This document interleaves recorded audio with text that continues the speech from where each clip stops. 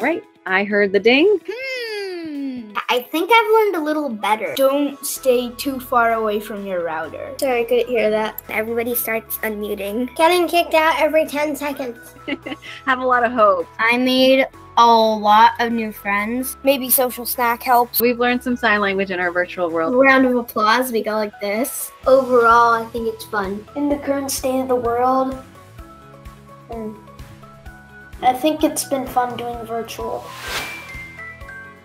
We're able to connect with different schools. I got to meet people from Glencliff and I can talk to them at social snack. You get to stay safe. It's less dramatic. You get to stay home with your family, and on your lunch break and snack breaks, you can go down and see them. Do not have to wake up super early for the bus. I like not having to go to the bus every day. I don't have to get on a bus to go to school, and I don't have to get on a bus to like go back. I like running through computer. The assignments, because usually when it's on paper, you can lose it really fast. Breakout rooms, online teachers like you.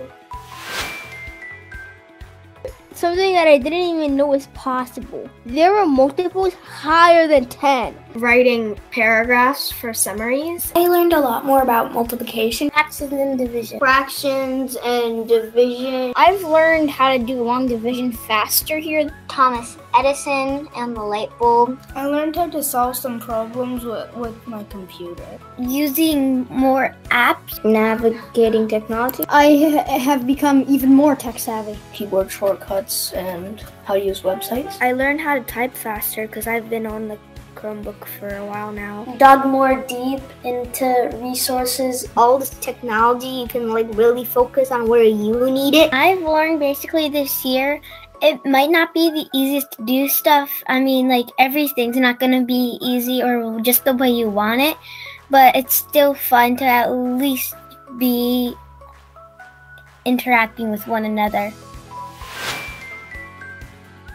When something's not loading, I feel like technology issues are probably the hardest part. My computer would glitch a lot. But the lag's the only part that's kind of bad. But after a while, I think the computer gets used to it. When your Wi Fi disconnect. Staring at a screen for long hours. Don't put all your faith in technology and probably um, hope that they eventually iron out all these problems. For me, probably distractions at home. I have a younger sibling. He is three and he makes a bunch of noise. Animals are distractions, siblings are distractions. He has like this huge dump truck and this huge e- excavator and he loves to crash them together. Conversations is a little harder in virtual because there's like unmuting and muting.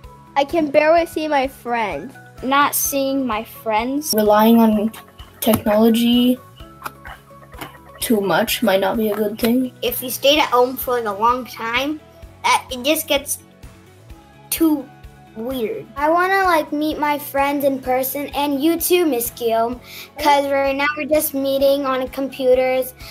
And I really wish I could meet everyone, including you, Miss Guillaume, in person.